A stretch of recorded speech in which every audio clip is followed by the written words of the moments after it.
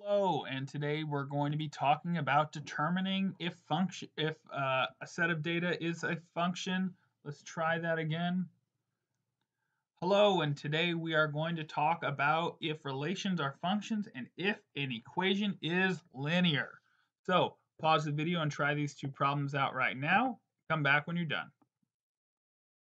All right, so first thing we're going to do is find our slope. So we're going to go 4 minus 3 over 6 minus 3, which gives me a slope of 1 over 3. So I know my equation that we're trying to find is y equals mx plus b. And so for this, I know I'll start with y equals 1 third x plus b. Next, what we're going to have to do is plug in a point. I'm going to use 6 comma 4. So 4 is my y value. 6 is my x value and I'll solve and get b is 2. So the equation of this one is y equals 1 third x plus 2. Kind of crammed in there, but we understand what's going on. For the second one, same process. We're going to first find the slope. I'll use this point first just to show you that the difference doesn't matter. We'll go 2 minus a negative 9 over negative 4 minus 7 which will give me 11 over negative 11, or slope of negative 1. So I can write my equation as y equals negative x plus b, and then I will plug a point in. So we'll put negative 9 in for uh, y and 7 in for x. Remember, it's important that these two values come from the exact same coordinate. And this gives me negative 2 equals b, so my equation is y equals negative x minus 2. Okay, so what is something, what does it mean for something to be a function? If we want something to be a function, uh, we want it to have essentially no input, no input has two outputs no input has two outputs. So we're saying if we have an input, it will produce a unique output. Another way to say this is that no x value can repeat. No x value can repeat. So no input can have more than one output, has to have a unique output, and we also know that no x value can repeat. So let's look at these two relations, right? Both of these are a relation because we're given a relationship between our x and our y values. If we look, 2, negative 3, 4, uh, negative 8, and 7, none of these numbers repeat. So this is a function. You may notice that the y value of 6 repeats. That's okay, right? We're allowed to have y values repeat. We can't have an x value repeat the most one of our more famous ones we have is a parabola, right? And that is a function, uh, and it has a y values repeat all over the place, right? A ton of them. For the second one, if we look, negative 1, 6, 7, oh, negative 1 again. Because we have the negative 1 repeat, this is just a relation. Okay, this is just a relation. So the other thing I wanted to talk about is domain and range. Domain are all of our input values. All of our input or our x values, right? Really, domain is dealing with all independent variable values that we have. We always want to write it in ascending order. So we're going to write the smallest first. So I'm going to do a little squiggle bracket so we know it's not a coordinate. So it goes negative 8 because that's the farthest left then negative 7, then negative 3, then 2, then 4. For our range, we write the exact same thing, but now we're dealing with our outputs, or our y values. So negative 5 is the most left, the smallest value we could have. And then 6 occurs twice. However, even though 6 occurs twice, we only write it once. So write that 6 and then we go uh, 9 and then 11. We do not rewrite range range or input or range or domain values. If they occur twice, we only write them once. Make sure we have that written down. That's an important thing for us to know. For the domain for the other one, we'll write negative 7 first, and then we go to negative 1, and then 6, and then 7. Again, we're not rewriting that negative 1 even though it appears twice. For the range, we get negative 5, negative 1, 3, 4, and 16. All right.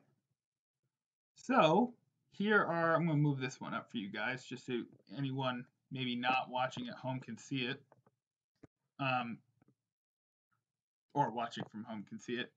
If we look, there's these three different values, these three different problems. One, two, and three, right? We don't have to have our data in just a table. It also could be a set of ordered points. I want you to pause the video, find the domain and range, and also tell me which ones are relations and which ones are functions. So pause the video here. Okay, for our first one, we will get that this is going to be a function because we have no x values repeat. For the second one, we have a 2 repeats itself, and so this is just a relation. The 7 repeats itself, but again, that doesn't matter because the 7 is a y value. And then for the third one, we have the 1 repeat itself. And so this is also a relation. I'm going to do the domain of just the first one, but you guys can check from there and make sure you're understanding what's going on. So we get negative 6, negative 1, 2, 4, and 10. And then for the range, it'd be negative 5, negative 3, 1, 2, and 3. Okay, so another thing we want to talk about, a way for us to determine if functions are um, actually functions, is by looking at the graph. We have something called the vertical line test. The vertical line test is if you are able to pass a vertical line and you will hit more than one point on the graph, it is not a function, it's just a relation. So for example, this one on the left, if we drag our vertical line through the uh, as much of the graph as we can see right now, because no x value repeats, we're not going to see it hit more than one point at one time. So this would be a function. For the second one, this is also a function. This one also happens to be a, a line, and we know that there's a difference between a function and a linear function, but it's good for us to understand that it, it will still be a function. And this last one, oh no, look at all these different points that it hits. This one is a relation. It's a relation because once we draw this vertical line, it will hit more than one point all over the place.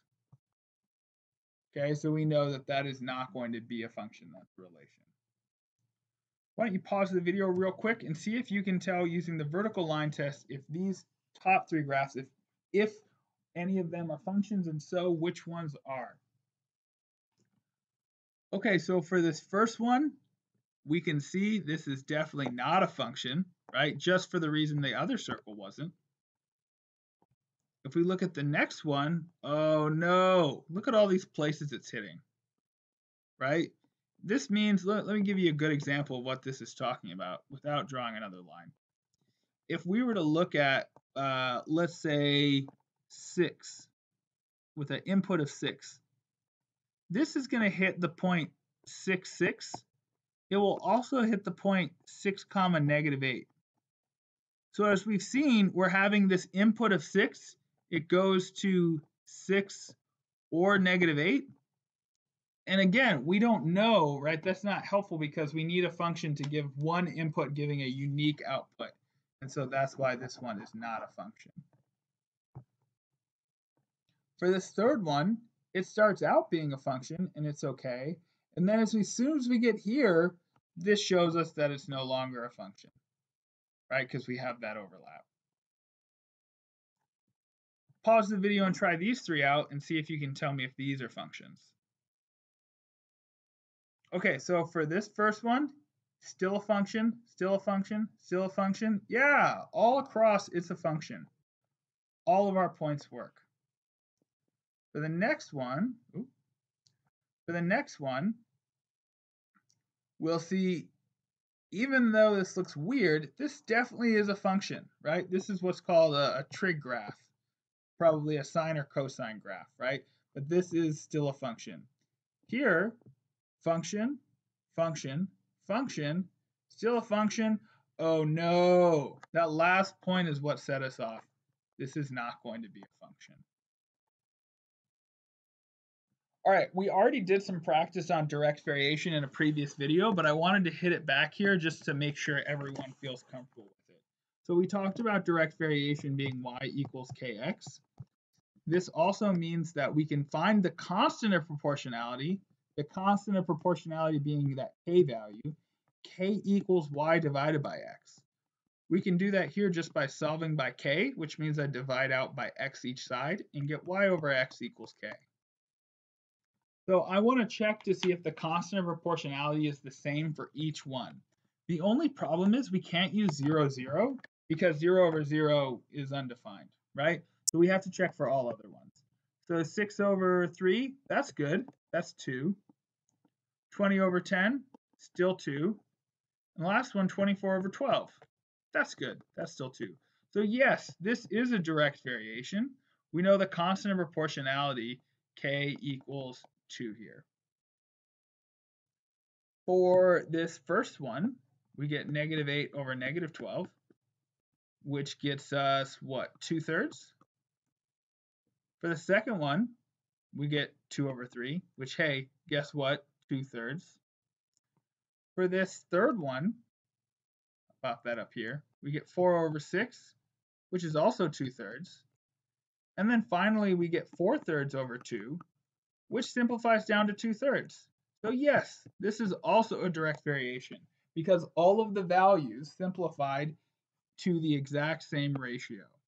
So we'd say yes, and the constant proportionality in this case is 2 thirds. So let's go back to our equation y equals kx.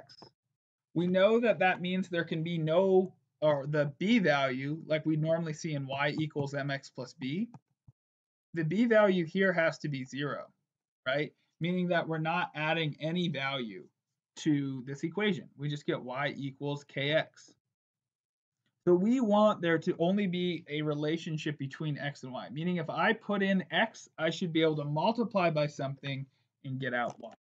For example, working $10 an hour, meaning if I'm looking at my total amount that I have at the end of the month, this is going to be a direct variation however many dollars I have is based on how many hours I work.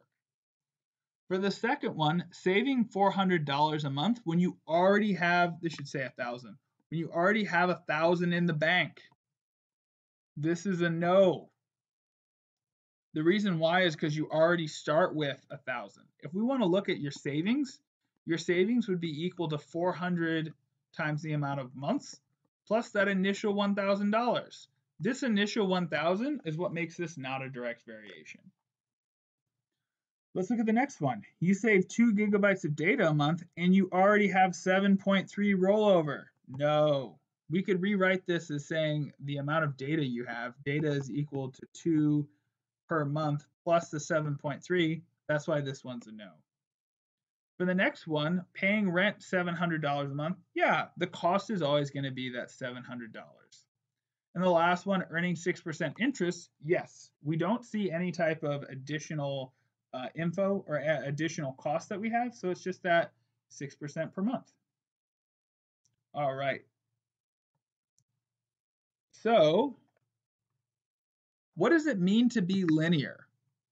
So what it means to be linear is uh, we have to have our function have x to the first, so a lot of times we'll see this, and then it can have a constant at the end.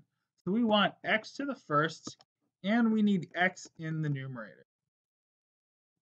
Common linear uh, terms will be y equals, or linear equations would be y equals mx plus b, y equals kx, ax plus by equals c, or uh, if you want to get real fancy, y minus y sub 1 equals m times x minus x sub 1. Right? A lot of different ways you could write it. But really, all of these have in common is they have that x to the first, x to the first, x to the first. Really, if we solve for y and we get something along these lines, right, either one of these, we know we're going to have a linear function.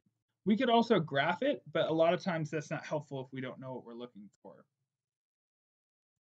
All right, so for this first one, we're going to solve for y. Now it's already in standard form, which is this form right here, but we want to just essentially solidify that we're okay with it. So I would subtract 3x from both sides and add 11, and then I would divide by 5 on both sides. So y equals negative 3 fifths x plus 11 over 5. Now, is x to the first power? Yeah, if we don't have an exponent for our x, we automatically assume um, that it's going to be to the first power. Uh, if we look at the, is it in the numerator? Yes, it's not in the denominator. We don't see a division bar over it. So this first one is a linear function. For this second one, now these are two linear functions multiplied together. And what would end up happening is we'd actually get a quadratic if we multiply those together. Now, I don't expect you to be able to do that yet, and we'll work on how to do that. But we get y equals 6x squared minus 5, and then we'd have, what, minus 13x. So because we see this x squared, this is not linear. For the third one, the first thing we'd want to do is distribute this 2 thirds and get y minus 7 equals 2 thirds x minus 8 thirds. And then we'd add 7 to both sides, which gives us y equals 2 thirds x, and then plus, what would that be, 13 thirds. So yeah, x is to the first power, and it's in the numerator. This is a yes. So we'd have yes, no, yes. And for this final one, we write it as y equals 3 over x plus 4. Oh no. See this x? It's in the denominator. So that one's a no. The last one's not linear. All right. Uh, this is all I have for determining functions in linear. There'll be practice on the wiki or in the Canvas. There'll also be the handout accompanying with this. If you have any questions or want any additional resources on any of this, just let me know, guys, and I will get you all the